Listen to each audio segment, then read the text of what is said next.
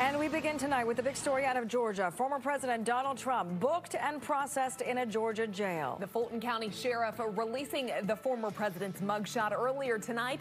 Trump, along with 18 others, now facing charges for their alleged efforts to overturn the 2020 election in Georgia. And let's get to Rob DiRienzo, who is live for us in Atlanta. And Rob, an unprecedented day. I mean, we've seen a lot of firsts with this president, but now we're seeing a mugshot that will be forever cemented in the history of the United States. Uh, talk to me about the reaction you're getting. I know there are a lot of Trump allies and supporters outside that courthouse. How are they reacting to uh, the, the events that took place today? Hey, good evening to you guys both. Well, let me just say, watching the motorcade roll into the Fulton County Jail was almost surreal. Uh, but as you mentioned, the former president was booked and then released on that $200,000 bond, or uh, bond, I should say.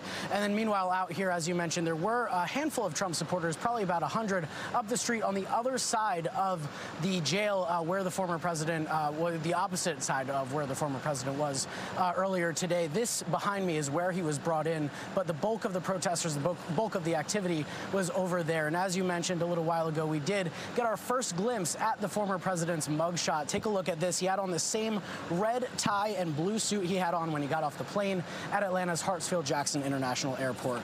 Mr. Trump spent about 20 minutes inside the jail facility where he was processed and that mugshot was taken. Jailers released the former president just after 8 p.m. Eastern time on that pre-agreed $200,000 bond. And as he boarded the plane, he called this a, quote, very sad day for America. Guys. Rob, wanted to ask you about the security presence there. No doubt a heavy security presence. Was it relatively peaceful throughout his time, you know, that transition into the Fulton County Jail as he was going through everything? Or what was the atmosphere out like there tonight? What was the atmosphere out like there? Well, I have to say, at one point in the afternoon, things locked down, not only in the jail, but in all the streets surrounding the jail. The roads were completely shut down. Nobody was allowed to come or go after those barricades were put in place. And then, of course, people in D.C. are familiar with the sight of the garbage trucks and the dump trucks. When we started seeing those pull up, we got the best indication that he was going to be coming in to this entrance. So everything remained very peaceful. As I mentioned, I don't think the former president actually had any face-to-face -face, um, interaction with any of his supporters who, again, were gathered on the other side of the jail. Uh, so everything remained peaceful. We did hear chants here and there. We did see a handful of people who were supportive of the former president's indictment, but everything, I think, went as smoothly as it could have gone in such an unprecedented day here in Atlanta.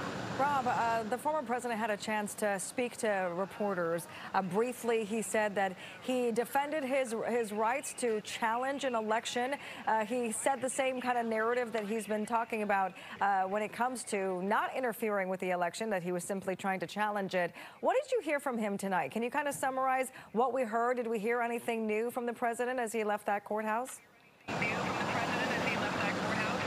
Well, he didn't say anything as he left the jail here tonight. On the tarmac at Hartsfield-Jackson as he was boarding the plane, he did make a brief comment. Again, he called this a very sad day for America. He used a lot of those similar lines and similar language we've heard in his previous indictments. So needless to say, the former president is very displeased about the way, uh, the course of this indictment, how it played out. And you can see that expression on his face in that mugshot photo a picture of that again and will be a living in our in our history books yeah, for a long time. No Rob DiRienzo, thank you so much for that live report out of Atlanta tonight.